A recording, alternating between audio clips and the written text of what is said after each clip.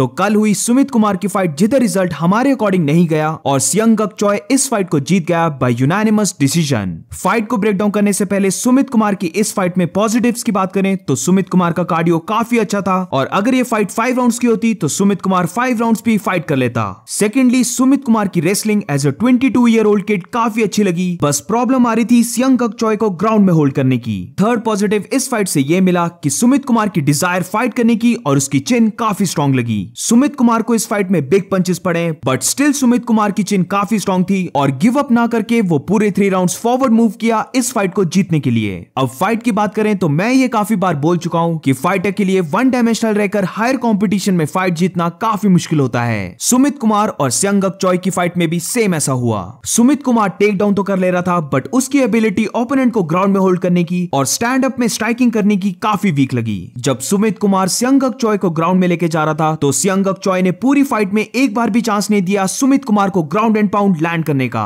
इस पूरी फाइट में सुमित कुमार एक हाइपर एग्रेसिव फाइटर था और सुमित कुमार का ये एग्रेशन फ़र्स्ट राउंड में काम भी किया क्योंकि सियंगक चॉय ने जरा भी एंटिसिपेट नहीं किया था कि सुमित कुमार इतना एग्रेसिव होकर फाइट करेगा। फ़र्स्ट राउंड में सुमित कुमार के काफ़ी अच्छे टेक डाउन हुए, उसके कपल ऑफ़ स्ट्रेट पंचेस और जैब्स भी काफ़ी अच्छे लैंड हुए। बट मेजर प्रॉब्लम तब आ रही थी जब सुमित कुमार ट्राई कर रहा था बिग ओवरहैंड राइट को थ्रो करने की। सुमित कुमार इस ओवरहैंड पंच में इतनी ज़्यादा पावर लगा दे रहा था कि जब वो इस पंच को थ्रो कर रहा था तो मोस्टली हर टाइम वो डिसबैलेंस होकर गिरने से बच रहा था। सुमित कुमार का हेड भी इतना ज़्यादा नीचे चले जा रहा था कि ये एक काफ़ी डेंजरस पोजीशन बन जाती है और इसी पोजीशन से काफ़ी ज़्यादा फाइटर्स नॉकआउट हुए हैं। सियंग चॉय को स्टार्टिंग में नहीं पता चल रहा था कि वो इस पोजीशन की कैसे एडवांटेज ले बट जैसे जैसे ये फाइट आगे बढ़ती रही, सियंग चॉय को पता चल गया कि वो सुमित कुमार के स्लो स्टैंड को काउंटर कर सकता है नी के साथ। और इसीलिए हमने फ़र्स्ट राउंड के बाद देखना स्टार्ट किया कि जब भी सुमित कुमार इस पंच को थ्रो करके अपने हेड को नीचे कर रहा था। तो सियंग चॉय ट्राई कर रहा था नी लैंड करने की और काफ़ी बार उसे सक्सेस भी मिली इस नी को लैंड करने में। एक डिपिंग ओपोनेंट पर हेड किक या फिर नी लैंड करना एक परफेक्ट ऑप्शन होता है और यही चीज़ सियंग चॉय ने इस फाइट में की।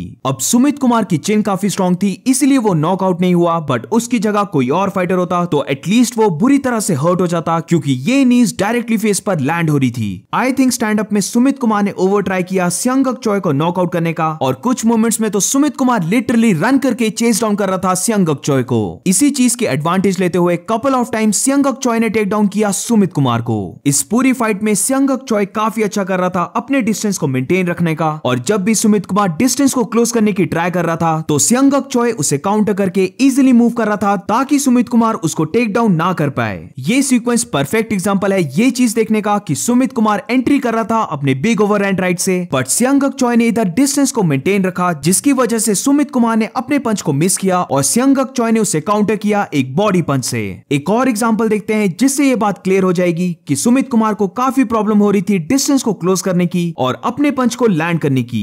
इधर हम देख सकते हैं कि सुमित कुमार ने एक big overhand punch throw करने की ट्राई की बट अगेन सियंगक चॉय ने परफेक्टली डिस्टेंस को मेंटेन रखा और जैसे ही सुमित कुमार ने अपने पंच को मिस किया, सियंगक चॉय ने एक स्ट्रेट पंच थ्रो किया जो लैंड हुआ सुमित कुमार के हेड पर। और इसके बाद इंटेलिजेंट वे से सियंगक चॉय उस पोजीशन से मूव कर गया। फाइट से पहले सियंगक चॉय जानता था कि सुमित कुमार उसे टेक डाउन करने की ट्राई करेगा। इसीलिए इस पूरी फाइट में सियंगक चॉय का गेम प्लान था अपने डिस्टेंस को मेंटेन रखकर काउंटर पंचेस को थ्रो करना और लेग किक्स को थ्रो करना सुमित कुमार को स्लो डाउन करने के लिए। फ़र्स्ट राउंड में सुमित कुमार की पावर की वजह से सियंगक चॉय इतना कॉन्फिडेंट नहीं था लेग किक्स को थ्रो करने में। बट फ़र्स्ट राउंड खत्म होने के बाद यूएफसी लेजेंड कोरियन जॉम्बी जो उसका कोच था। उसने सियंगक चॉय को इंस्ट्रक्ट किया कि वो लेग किक्स को थ्रो करे बिना डरे हुए। इसीलिए सेकंड राउंड ऑनवर्ड्स हम देख सकते हैं कि सियंगक चॉय की लेग किक्स इंक्रीज हो गई। और इन लेग किक्स की वजह से सुमित कुमार को और ज़्यादा प्रॉब्लम्स आ रही थी। डिस्टेंस को क्लोज करके पंचेस लैंड करने की या फिर टेक डाउन लैंड करने की। इस फाइट को देखने के बाद ये बात क्लियर है कि सुमित कुमार को काफ़ी इंप्रूवमेंट करनी होगी अपनी स्ट्राइकिंग में। और कैसे ओपोनेंट को ग्राउंड में होल्ड करके कंट्रोल करना है। इस पूरी फाइट में सुमित कुमार ने काफ़ी कम जैब्स को थ्रो किया बट जब भी वो जैब को थ्रो कर रहा था तो most of the jabs land कर रहे थे सियंगक चॉय के फेस पर। इसीलिए मैं थोड़ा कंफ्यूज था कि क्यों सुमित कुमार ने जैब्स को थ्रो करना बंद कर दिया।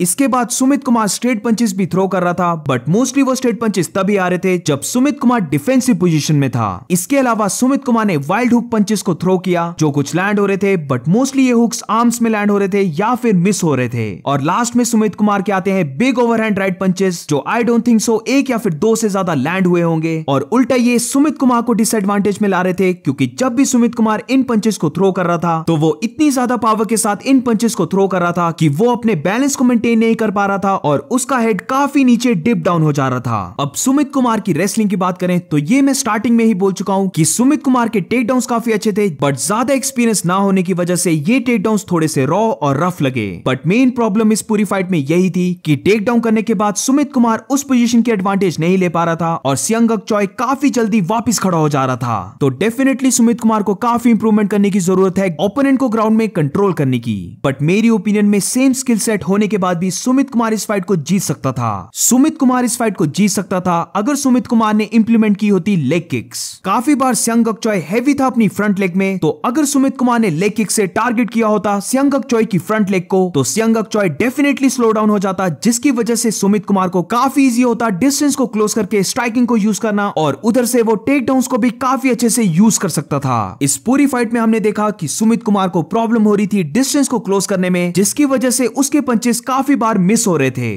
तो अगर सुमित कुमार फाइट की स्टार्टिंग से ही लेग किक्स को थ्रो करता तो आई थिंक थोड़ा इजी रहता सुमित कुमार के लिए अपने पंचेस को लैंड करना। ऑल्सो उसको सियंगक चॉय को चेस डाउन करने की ज़रूरत नहीं पड़ती, क्योंकि सियंगक चॉय की लेग इतनी ज़्यादा बीट हो जाती कि वो फास्ट मूव नहीं कर पाता और सुमित कुमार उसको इजीली टेक डाउन कर सकता था। अब ऐसा नहीं है कि सुमित कुमार ने जरा भी लेग किक्स को थ्रो नहीं किया। अगर हम सुमित कुमार के कोचेस को सुने तो फाइट के बीच में सुमित कुमार के कोचेस उसे बोल रहे थे लेग किक्स को थ्रो करना, जो सुमित कुमार ने किया भी। बट प्रॉब्लम ये थी कि लेग किक्स को थ्रो करने में सुमित कुमार काफ़ी लेट हो गया। राउंड थ्री की स्टार्टिंग में सुमित कुमार ने काफ़ी अच्छी लेग किक्स को थ्रो किया बट तब तक वो काफ़ी लेट हो गया था इन लेग किक से एडवांटेज लेने में। तो overall tough luck for Sumit Kumar but हमें ये याद रखना होगा कि सुमित कुमार स्टिल अभी 22 इयर्स का है। सुमित कुमार अभी काफ़ी यंग है स्पोर्ट में तो डेफिनेटली वो अपनी striking wrestling and overall game को इम्प्रूव करेगा। तो होप यही है की आने वाले एक या फिर दो सालों बाद सुमित कुमार हमें फिर से दिखे इस रोड टू यूएफसी में फाइट करता हुआ।